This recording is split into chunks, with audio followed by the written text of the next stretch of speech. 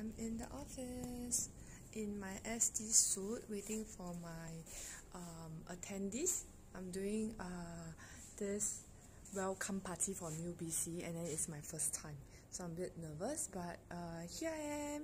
Okay, you have to do a big true. You have to actually do something that uh, you don't know whether you can or not but um, I think that uh, this is no difference um, than the uh, ESRS that I have been training. So um, to enrich um, beauty consultants, new beauty consultants, and then women who actually want to um, make a difference and then uh, they want to actually do something that they think they can uh, actually achieve more. Yeah.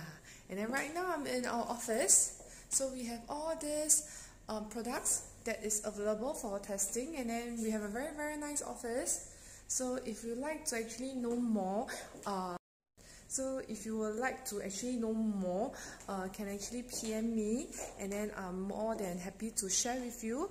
And uh, that's all